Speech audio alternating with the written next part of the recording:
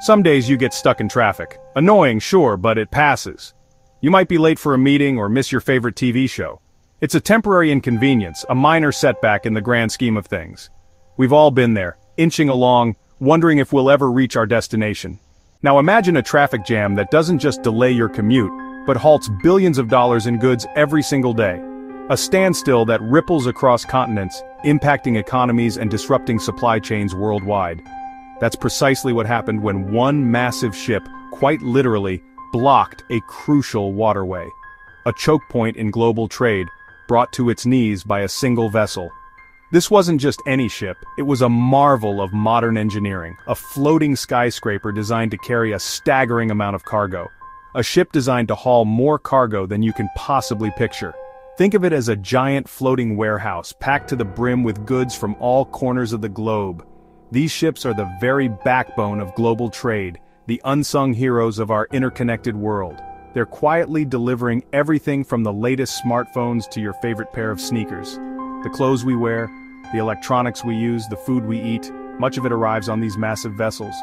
But when one of these behemoths gets stuck, it's not just a small problem.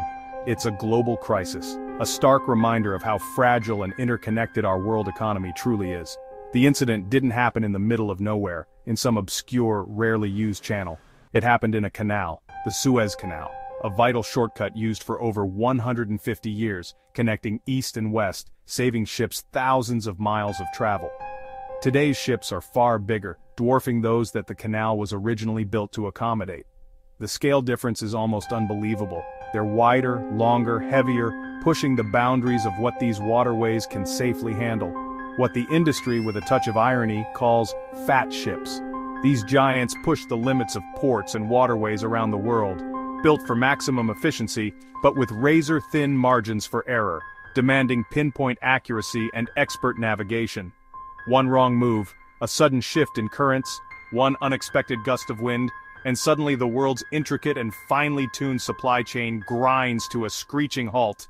This isn't just about the misfortune of one single ship, it's about a larger trend, the relentless pursuit of bigger, wider, heavier vessels, all in the name of efficiency and lower costs.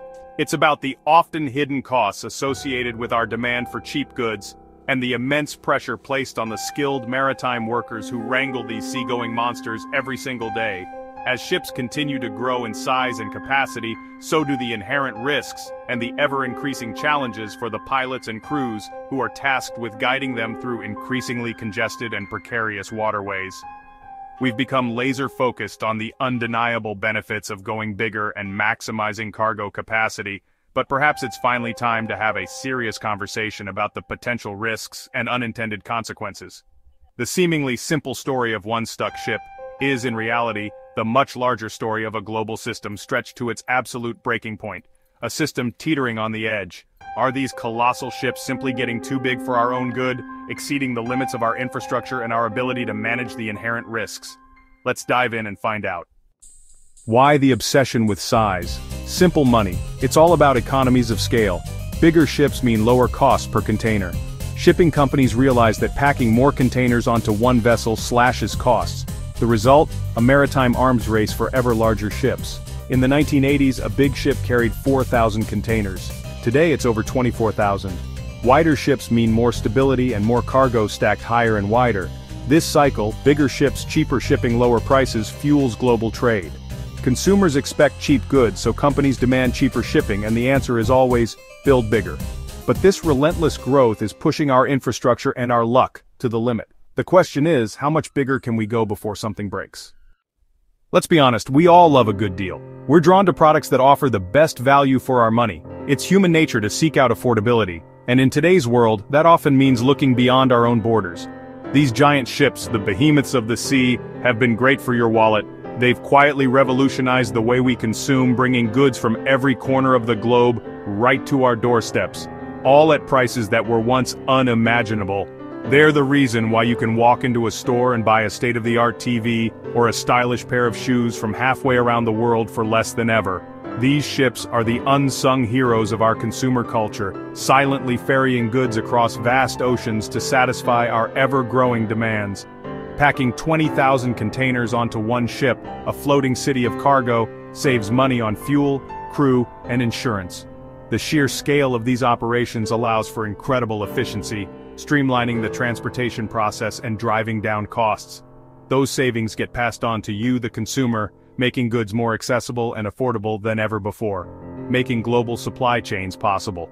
This intricate network of ships, ports and logistics companies has woven the world together, creating a seamless flow of goods across continents. A t-shirt made in Vietnam with cotton from India can reach Ohio for pennies. It's a testament to the power of global trade and the efficiency of these massive ships. This affordability has changed how we live. It's shaped our lifestyles, our consumption habits, and even our expectations. Year-round fruit, once a luxury, is now a common staple in our diets. Global gadgets, the latest technological marvels, are readily available at prices that are within reach for many, and small businesses competing worldwide, empowered by e-commerce and the ability to source products from anywhere in the world. These ships have democratized access to goods, breaking down barriers and making products available to a wider range of people, not just for the wealthy. The benefits of global trade have been felt across all segments of society, but there's a trade-off, a hidden cost that we've often overlooked in our pursuit of affordability. We've accepted risk and environmental strain, turning a blind eye to the consequences of our consumption habits. For economic efficiency, we've prioritized lower prices and convenience over sustainability and environmental responsibility. For decades, it seemed like a good deal. The benefits were tangible, the costs were largely invisible. But now we have to ask, as the environmental impact becomes increasingly clear and the risks more apparent. Is the bill for all this cheap stuff finally coming due? Are we reaching a point where the environmental and social costs outweigh the economic benefits? The benefits are real, but so are the risks. It's time to have a serious conversation about the true cost of our consumption and the sustainability of our global supply chains. Big ships mean big problems when things go wrong. Steering a 1 300-foot ship is like piloting a sideways skyscraper one mistake can block a canal or wreck a port. Wind, currents and tides have outsized effects on these giants making navigation risky. Their deep drafts require constant dredging and can erode waterways, damaging the environment. Their wakes can rock smaller boats and stress port infrastructure. When disaster strikes a fire, a grounding, a spill the scale of the emergency is massive. Salvage and rescue operations become logistical nightmares. Ports and canals struggle to keep up, and the margin for error is nearly zero. We've built ships that outpace our ability to handle them when things go wrong. The bigger the ship, the bigger the consequences. Are we prepared for the next crisis? We've built ships for a world that doesn't exist yet. Ports, canals, and bridges are struggling to keep up with these giants. Upgrading a port means deeper channels, longer berths, and massive expensive cranes. The Panama and Suez canals have expanded, but even they're reaching their limits. One mistake in these narrow arteries can block global trade for days. Dredging and expansion damage marine ecosystems and cost billions. These ships burn huge amounts of fuel, and their emissions are enormous. If one has an accident, the environmental fallout can last decades. We're betting our coastlines and oceans on a system that's stretched thin. Is it worth the risk? Let's put these ships in perspective. The biggest are over 1,300 feet long, taller than the Eiffel Tower if stood on end. They're wider than a six-lane highway, with decks the size of four football fields. A single ship can carry 24,000 containers, enough to stretch a train 90 miles long, or require 12,000 trucks to move the same cargo.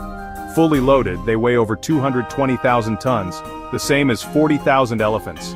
When one gets stuck, you need a fleet of tugboats, dredgers, and a lot of luck. The scale is staggering, and so are the challenges. These ships are efficient, but their size makes every problem exponentially harder. Understanding their scale is key to understanding the risks. We're not just moving cargo, we're moving mountains. And when a mountain gets stuck, the world feels it. The Ever Given, a colossal container ship, unexpectedly thrust the world of global trade into the spotlight. It served as a stark reminder of how interconnected and vulnerable our modern supply chains truly are, the incident captured global attention, sparking conversations about the fragility of international commerce and the potential for single points of failure to disrupt the entire system. In March 2021, a seemingly ordinary month, this ultra-large ship, one of the biggest in the world, got wedged sideways in the Suez Canal, a critical artery for global shipping. The sheer size of the vessel, combined with an unfortunate set of circumstances, created an unprecedented bottleneck. One gust of wind, perhaps seemingly insignificant at the time and suddenly the world's most important shortcut, a vital link connecting east and west was completely blocked. The consequences were immediate and far-reaching. Hundreds of ships piled up on either side of the canal, forming a massive maritime traffic jam, holding up an estimated $9.6 billion in trade every single day. This staggering figure highlighted the immense volume of goods that rely on the Suez Canal for transit. Supply chains, already strained and fragile due to the ongoing pandemic, went into further chaos, exacerbating existing shortages and delays. The ripple effects were felt across numerous industries. Some ships, desperate to reach their destinations, detoured around Africa, taking the long route, adding weeks to their journeys and millions of dollars in additional costs for fuel and other expenses. It took six long, agonizing days, a small army of tugboats working tirelessly, and specialized dredging equipment to remove tons of sand and mud, and a stroke of luck with a high tide to finally free the massive ship from its sandy prison. The Ever Given itself wasn't significantly damaged during the ordeal. It was simply and stubbornly stuck. But that was more than enough to trigger a significant global economic crisis, exposing vulnerabilities in the system. So, what's the key takeaway from this incident? Our global trade system is so meticulously optimized for maximum efficiency and just-in-time delivery that it often lacks the necessary resilience to withstand unexpected shocks. One ship, one mistake or one unfortunate gust of wind, and the intricate machinery of global commerce grinds to a screeching halt, impacting businesses and consumers worldwide. The potential risks associated with the trend of building ever larger ships are no longer merely theoretical concerns. They're very real, they can materialize rapidly, and they can be incredibly expensive for everyone involved. Giant ships make global trade cheap and efficient, but they also create massive risks. Single points of failure, huge infrastructure costs, and environmental damage. Ports spend billions to keep up, but many can't afford it, creating winners and losers. Dredging spills and emissions take a toll on our oceans and coastlines. Safety is a growing concern. Harbor pilots face immense pressure. We're balancing efficiency against systemic risk. For years efficiency won out, but after the Ever Given, the risks are impossible to ignore. Every bigger ship raises the stakes. Are the savings still worth the risk of a global supply chain meltdown? It's a high-stakes gamble with the world's economy. Where do we go from here? The race for bigger ships may be reaching its limit. The cost of upgrading global infrastructure might finally outweigh the savings. The Ever Given was a warning. Our system is brittle. Maybe the future isn't about bigger ships, but smarter ones, and more resilient supply chains. Technology, better planning, and diversified routes could be the answer. We may need to rethink our demand for ever cheaper goods. It's time for a global conversation about the risks we're taking. These ships carry our lives across the seas, so is bigger always better?